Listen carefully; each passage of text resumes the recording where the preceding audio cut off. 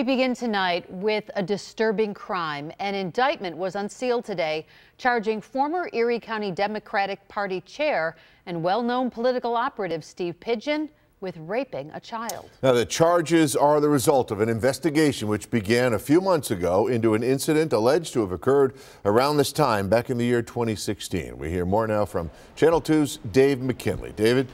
Scott, the DA says he believes Pigeon may have gotten suspicious that he was under investigation just after police began looking into the allegations in August, because shortly thereafter it's alleged he showed up at the door of his accuser's family asking why they were no longer taking his phone calls.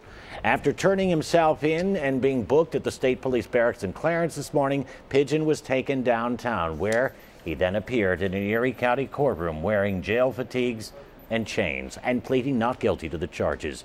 District Attorney John Flynn says the allegations involve a girl who was under the age of 11 when she claims Pigeon assaulted her five years ago, but that the allegations only surfaced this past summer when the alleged victim told their mother, who then contacted her family attorney, who then contacted Flynn. I believe the child.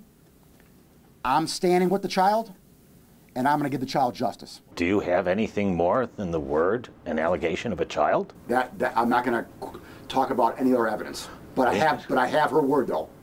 Okay. Do you have, have anything more than that? I'm not asking no, yeah, what no, you yeah, have. Yeah, yeah, yeah. But I mean, you, you, you must to bring a charge like sure, this, no? Yes. So here are those charges predatory sexual assault against a child, rape, criminal sexual act, and endangering the welfare of a child. Conviction on the top counts alone could land the 61 year old Pigeon behind bars for the rest of his life. Pigeon's attorney moved to have his client released on his own recognizance, but the judge handling the arraignment ordered him held without bail for now. We do expect Pigeon's lawyers may make another bid for bail to be set at his next court appearance on Monday. Dave McKinley, Channel 2 News. News.